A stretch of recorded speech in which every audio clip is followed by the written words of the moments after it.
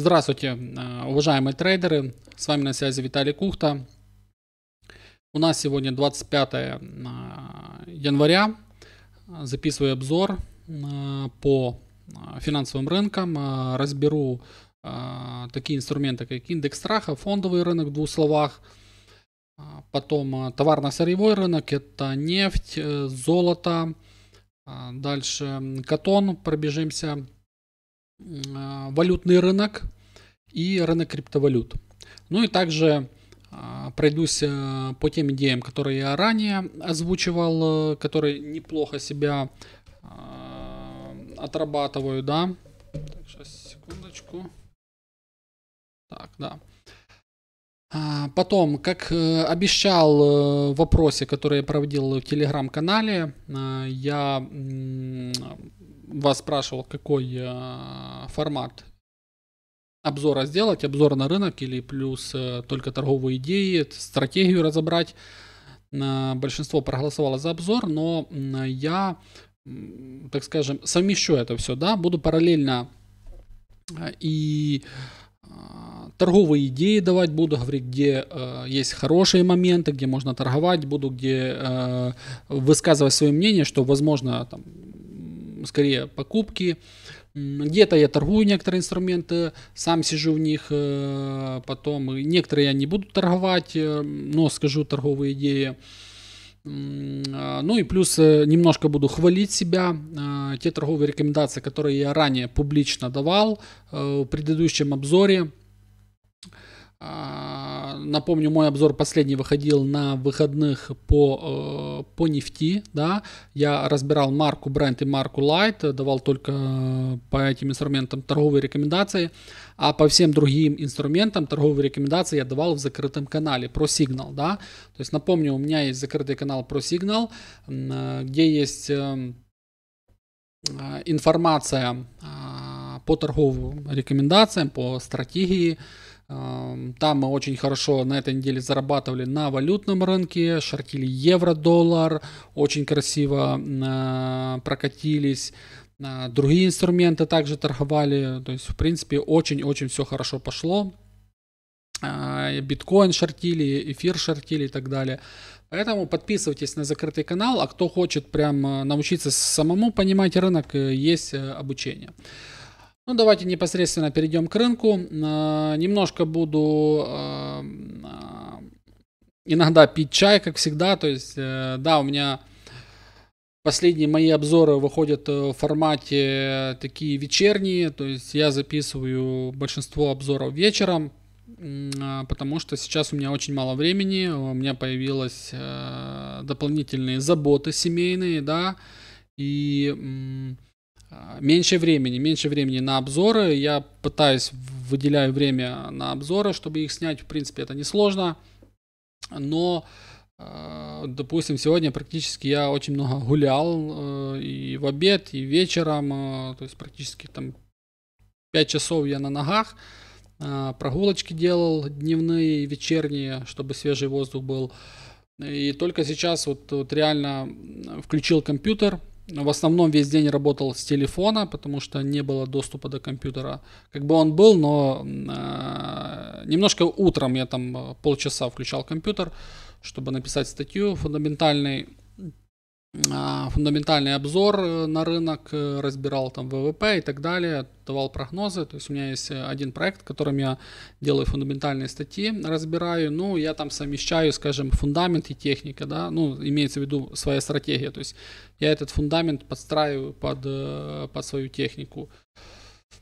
А, поэтому пью, буду пить чай, э, кому-то это будет не нравиться, извиняюсь, э, но такой уставший принял душ только что и, и записываю.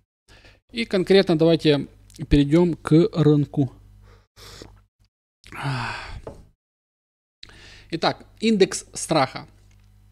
Э, напомню, еще больше недели назад я говорил, что индекс страха стоит покупать в принципе, на нем, вот, э, кто, кто смотрел ранее, то есть более недели назад, э, я называл уровень 14, говорил, что выше данного уровня возможно покупать, и мы, в принципе, неплохо себя отработали, до, добили до э, следующего уровня в район 16 пунктов, то есть практически э, 2 пункта, то есть это достаточно много, это э, почти 10 э, Э, сколько, полтора, э, полтора пункта это 10%, ну, так скажем, грубо говоря, 10, 10% э, движения по инструменту. Это достаточно сильно.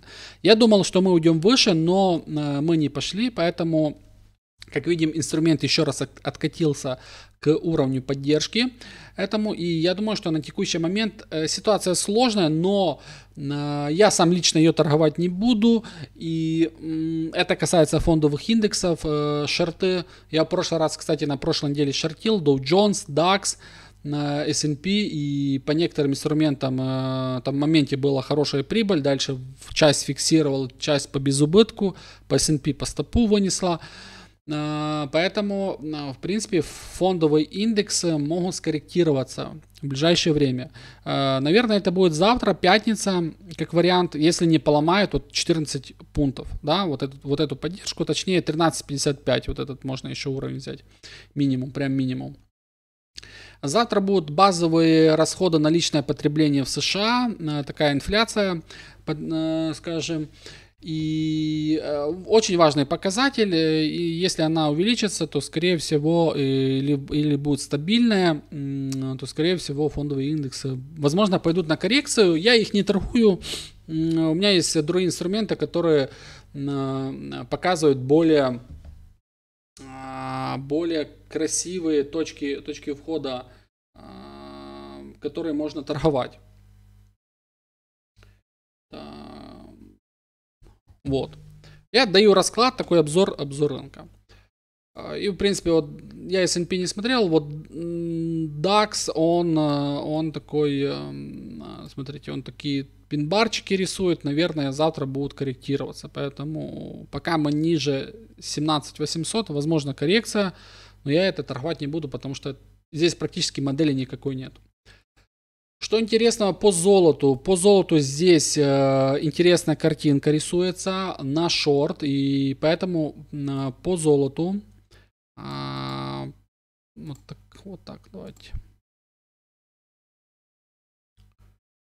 Пока мы ниже вот этого тренда нисходящего, который у нас образовался э, практически с нового года, я несколько раз шортил золото, удачно, в принципе, э, три раза шортил, два раза вышел в профит, Последний раз шортил, э, вышел с шорта. И на текущий момент э, я думаю, что золото, скорее всего, будет падать. И пока мы ниже 2025, 2035, э, я думаю, что у нас по золоту возможно снижение в район 1975. Да? А, поэтому я золото а, рассматриваю на шорт. Лично я его торговать уже не буду, но в принципе я давал торговые рекомендации своим ребятам. А, посмотрим, сработает ли оно. Но в принципе, если в сумме брать вот январь месяц, мы несколько раз шортили. Кто шортил, заработал, то в принципе даже если сейчас завтра на инфляции не пойдет, ну скажем, стоп так стоп. Да? Поэтому золото приоритет шорты. По серебру, э, серебро я бы не торговал, здесь сложная ситуация. Мы, мы э, в принципе, серебро один раз очень удачно э, шортили, но нужно было, конечно, его держать. Я вышел потом в таком неплохом плюсе, можно было пониже, но э, это уже такое. Это вот у нас как раз 22 уровень поддержки. В принципе, я думаю, что серебро тоже будет падать, но у него локальное сильное поджатие, поэтому я пока его трогать не буду. А, дальше перейдем к рынку а, нефти марки Brent, марки Light. Напомню, а, на своем YouTube канале я последний свой обзор делал сугубо по нефти и рассказывал вкратце, ну, так скажем, можно сказать в деталях, но детали понятны только моим ученикам, то, что я рассказывал. Потому что я в прошлый раз советовал среднесрочно торговать нефть на покупку. Да, то есть здесь сформировался очень хороший паттерн. То есть я э, фундамент здесь э, выключил, потому что фундамент можно смотреть, там, Китай, все плохо, нефть будет падать, э, Ближний Восток в конфликты, нефть будет расти. Я это все исключил, сугубо техника, э, мои модели, которые указывали, что нефть будет расти. Она, в принципе, локальные, первые цели мы сделали 81,5 по бренд, да, вот я э, начал с ребятами в закрытом канале в районе 77 покупать, и обзор делал э, в районе там 78, и поэтому э, говорил, что нужно покупать, и у нас цели, в принципе, по нефти я называл в район 90 100. По бренд и по лайт плюс-минус аналогично, да. Здесь мы на квартал как минимум мы должны расти. Поэтому кто ранее не покупал, я бы с коррекцией дальше покупал. Конечно, сейчас на максимумах можно ли купить? Можно, но понимаете, то, что мы ранее покупали и сейчас, это две разных цены. То есть это разница практически в 4-5 э, долларов. Ну, почти 4, 4 где-то. Поэтому бренд, light, там картинка аналогичная, я дальше переключаться не буду. О, просто здесь я себе похвалю, то есть э, как я э, определил по своей стратегии э, такой хороший рост, в принципе он неплохой. Я тоже покупал нефть, частично я зафиксировался, поэтому мне очень нравился здесь паттерн, очень мы плюс обсуждали в закрытом канале про сигнал со своими учениками, то есть мы раньше покупали, потом выходили, что-то сомневались, потом я снова так, нет, ребята, покупаем, потому что уже появляется хорошее подтверждение и по полочкам им отрисовал по своим моделям, почему здесь нужно покупать. Дальше. Э, Катон Смотрите, какой великолепный рост. Э, напомню, здесь я тоже себе похвалю, потому что э, где-то с Нового года, ну и плюс в прошлом э, году, в декабре и, и в январе, несколько вебинаров назад, я Катон говорил, ребята, покупайте среднесрочно, потому что здесь модель среднесрочная очень красивая, э, просто великолепная. Э, мои ученики знают, о чем я говорю. То есть просто говорил, все, что выше 78,5, 80 покупка. Смотрите, какой хороший, великолепный рост. У нас цена сейчас 85,5 э, мы добили. Э, я прогнозировал, э, вот здесь это локально, а вот если глобально, здесь даже глобально есть паттерн. И мы, в принципе, вот я цель, целюсь на 90, и дальше, думаю, мы, возможно, 95-100 покажем среднесрочно. Поэтому, кто ранее не покупал, можно покупать, но я такой уже не торгую. А, потому что здесь нужно короткий стоп поставить, потому что если будет коррекция, она может превратиться в сильную коррекцию. Поэтому это сугубо разбор, и сугубо хотел похвалить себя, как я по нефти, по катону определил. То есть, если на рынке случаются такие красивые паттерны, на них нужно очень хорошо зарабатывать. Дальше. А, дальше, дальше, дальше. Индекс доллара. По индексу доллара ситуация такая, я на этой неделе, то есть я напомню, на прошлой неделе, на позапрошлой неделе, я всем советовал э, покупать индекс доллара и, или работать там через другие мажоры, там евро, фунт, э, австралиец, новозеландец, канадец, то есть я эти все инструменты торговал, э, там ученики мои даже доллар-иену покупали неделю-две назад, там великолепные модели были, и на текущий момент, в принципе, вот я э, на этой неделе во вторник э, и сегодня утром четверг э, я э, шортил евро-доллар, то есть я с индексом доллара уже на этой неделе не работал, сугубо э, с евро-долларом, и мы шортили э, в принципе, локально мы заработали, евро-доллар снижался, мы сейчас к нему перейдем. Вот индекс доллара, я думаю, что э, можно рассматривать покупки, и э, индекс доллара, он, э, э, так скажем, э, э он я думаю, что в ближайшее время, возможно, в пятницу, возможно, чуть позже, он э, пойдет в район 104, возможно, 105. Конечно, это может быть э, не сразу, может быть, через какие-то сложные коррекции и так далее, но я пока вижу покупки, и, в принципе, вот я сейчас, э, мы когда придем к евро-доллару, я там более детально расскажу, что я там вижу.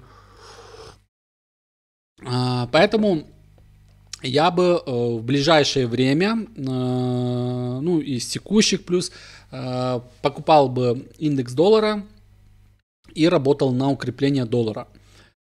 Если произойдет э, слом вот этой восходящей локальной тенденции, то э, там как вариант, э, какие альтернативы могут быть? Э, индекс доллара чуть усложнит коррекцию и, только, и потом продолжит рост, да, то есть это такой вариант возможен, то есть не нужно думать, что э, вот я даю рекомендацию на покупку, и если оно не пойдет, такой вариант возможен, Дальше нужно будет ждать подтверждения. То есть э, я ребятам э, советовал там шортить э, некоторые инструменты евро условно, и чтобы они выставили определенные риски на случай несрабатывания. Поэтому Пока работаем на укрепление индекса доллара. Если пойдет сильная коррекция, то дальше я буду ждать нового сигнала на покупку, потому что я жду 104, э, 105 и возможно, ну 106 я не думаю, что сделаем. Все возможно. Ну вот 104, 105 вот такие цели я для себя ставлю на ближайшее время. А, может быть такое, что оно будет там через более глубокую коррекцию уже там а, со следующего месяца. Такой вариант возможен. То есть будем по факту сопровождать. Э, дальше евро-доллар. Ситуация, в принципе, зеркальная. Смотрите, я здесь себе натянул FIBA э, сетку. Я сейчас покажу почему. То есть я на этой неделе несколько раз, два раза шортил ниже 1.09 евро-доллар. И два раза мы заработали, смотрите, во вторник. Вот на этом падении. Вот смотрите, какое красивое падение. Раз, мы вот здесь заработали. И э, дальше ставили без убыток. Без убыток вынесла. То есть частично мы фиксировали. И сегодня утром я тоже говорил, что, ребята, можно, в принципе, рассматривать дальше шорт по э, евро-доллару. Итак, смотрите, какие перспективы в евро-доллара на снижение. Я натянул э, FIBA-сетку, чтобы понять, какие у нас э, на ближайшее время среднесрочные цели. Я думаю, что они, в принципе, некоторые уже мы выполнили. 0,8, э, ну там осталось несколько пунктов. А, я целюсь, э, целюсь в район э, предыдущего отката, это 1.0725. Здесь, в принципе, совпадает и FIBA уровень коррекции 61%, да, ну 0.61,8. И я думаю, что мы сюда дойдем. Только вопрос, как мы сюда дойдем? Э, с текущих плюс-минус, там с небольшой коррекцией будем сильно падать, или, э, или будет какая-то коррекция э, очень глубокая и плюс-минус, и дальше только снижение. Я пока шар, мы зашортили, сидим в сделке, а дальше по факту как оно будет. Поэтому евро пока на ближайшее время я на шорт. Возможно, мы и ниже уйдем в район 1.06. Э, я такой сценарий не исключаю. Ну, уже по факту посмотрим. После того, как закончится коррекция по евро, я дальше буду искать глобальные покупки. То есть, если это забегая наперед, там уже по факту буду смотреть. Если будут рисоваться модели, то уже дальше буду их э, сопровождать. Дальше, фунт-доллар. Здесь ситуация э, чуть сложнее, то есть фунт у нас находится в сильном восходящем тренде, но пока по фунту мы ниже 1.28, э, я за шорт, я жду его в ближайшее время в район 1.26, 1.25. То есть если пока мы не сломаем 1.28, э, я бы работал на снижение. Конечно, э, если учитывать фундамент Британии, в последнее время, то есть у нас выходила э, инфляция э, в Британии, да, она вышла на прошлой неделе, она сильнее оказалась ожиданий. Потом у нас плюс хорошие данные выходили на этой неделе, у нас, в принципе, фунт показал рост. Что может сломать фунт? Только хорошие данные по США. То есть, да, и они могут, э, как вариант, э, придавить данный инструмент. А пока э, аккуратно шортим, Если будет ломать 1.28, тогда я за шорты пока, с шортами пока не буду связываться.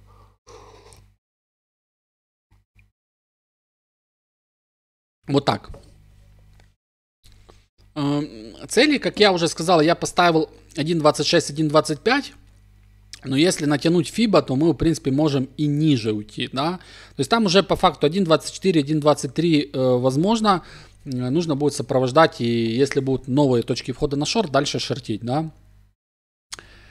По другим инструментам валютного рынка э, интересная ситуация есть по австралийскому доллару. Новозеландец плюс-минус аналогично. Франк, канадец, ну, в двух словах, канадский доллар. Я думаю, что канадский доллар также будет дальше расти. И в ближайшее время мы где-то будем на 1.36 э, с текущих или через какие-то коррекции более сложные, э, мне сложно сказать, но по, канадску, по канадскому доллару я бы, я бы э, работал на покупке в ближайшее время. Э, доллар-рубль, доллар-рубль, э, я бы его пока не торговал. То есть, напомню, ранее я его активно советовал шортить. Но мы, в принципе, локальные цели делали. Я дальше целился на 83,5. Но, в принципе, у нас э, есть здесь небольшое накопление на шорт, но я пока не буду с ним работать. Дальше. Ну и давайте блок э, по рынку криптовалют. Э, вот здесь просто великолепно. Давайте я себе тоже здесь буду хвалить. Напомню, практически всю осень до Нового года, ну и плюс там начало января, я был быком по биткоину, я практически 95% его покупал, только там пытался спекулировать, э, два раза шортил в декабре э, и в январе там один раз, э, то есть локальное мы шортили, по безубытку вышли, поэтому я был быком, но я недавно опубликовал момент, что у нас Э, сантимент зашкаливает, то есть все очень сильно на позитиве. Это говорит о том, что э, рынку криптовалют пора скорректироваться. Он, в принципе, уже начал корректироваться. Э, второе. Приняли ETF на биткоин. Как говорят, покупай э, на ожиданиях, продавай по факту. Да? То есть приняли ETF. Вот я, я когда мы с ребятами покупали биткоин, когда приняли ETF, я смотрю, реакция, там еще был один, одно движение наверх, Э, я напомню, что я ранее прогнозировал цену 50 тысяч плюс-минус. Мы ее сделали. Я смотрю, что нету дальше никакой реакции после принятия ETF. Я говорю, ребята, выходим, потому что здесь возможно дальше снижение э, по биткоину. А, мы вышли с покупок и начали шортить э, вот на этой модели в районе 43 тысячи, э, потом добавлялись в районе 41 с половиной тысячи. Мы, в принципе, на этих шортах зарабат, заработали, часть удерживаем, плюс эфир мы шортили, там просто великолепная ситуация. Плюс я давал расклад по Solana, по Atom, э, по этим монетам. Мы тоже, э, я лично их не шортил, но я говорил ребятам, вот такой расклад есть, что здесь, скорее всего, снижение будет очень сильное. Э, поэтому на текущий момент, что сказать по биткоину, пока мы ниже 40, скажем, 40 500, я за шорт. Конечно, могут если дальше будут ломать, то это будет или вынос, или уже начинаться коррекция вот как-то вот так. По эфиру, в принципе, если в двух словах, ну, здесь пока не торгово. Вот эфир мы шортили, смотрите, а, по две с половиной тысячи мы шортили, и мы часть фиксировали, часть, я говорил, без убытки. В принципе, ребята, которые там удерживают средний срок, просто великолепно, великолепный профит. Ну, другие монеты я рассматривать не буду, то есть это, в принципе, ученики мои э, разбирают. Ну, на этом все. То есть я, в принципе, расклад по рынку дал. А, немножко себя похвалил по своим среднесрочным прогнозам. А, в принципе, это не то, что я по фактум рассказываю, там, что я где-то в закрытом канале что-то торговал. Публично нефть давал, отдельный обзор сделал. Катон в предыдущих обзорах снимал, снимал. А, индекс доллара говорил, что рост будет, пошел. Евро-доллар и так далее. По золоту аналогично. То есть, в принципе, большинство отработалось. Да, некоторые инструменты там где-то выносили и так далее, но это рынок. Э, я думаю, э, конечно, хорошо, чтобы рынок закончил на такой хорошей ноте. И в пятницу посмотрим. Конечно, э, я сам лично, чтобы вы понимали, у меня уже минимум торговых идей. То есть я, в принципе, на этой неделе немножко заработал. И в пятницу у меня там висит некоторые сделки. Они уже там как бы а, в безубытках некоторые, некоторые уже часть зафиксирована, поэтому куда рынок пойдет, пойдет против меня, буду искать новые точки входа. То есть это нужно понимать и соблюдать риск менеджмент, потому что это рынок, да, то есть нужно понимать. Итак, закончим на том, что чтобы вы подписывались на закрытый канал ProSignal, а, на обучение записывайтесь, э, будут вопросы, пишите в личку. Пока.